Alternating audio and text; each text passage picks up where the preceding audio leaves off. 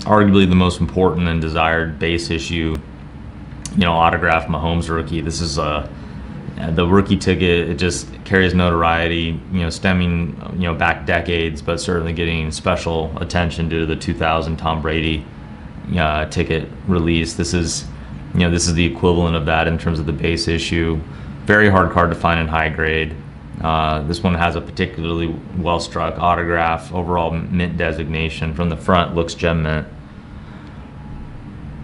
The back has just tiny little bits of wear, a couple spots, but overall, it's a pack fresh version of one of the most important Mahomes rookies in the world.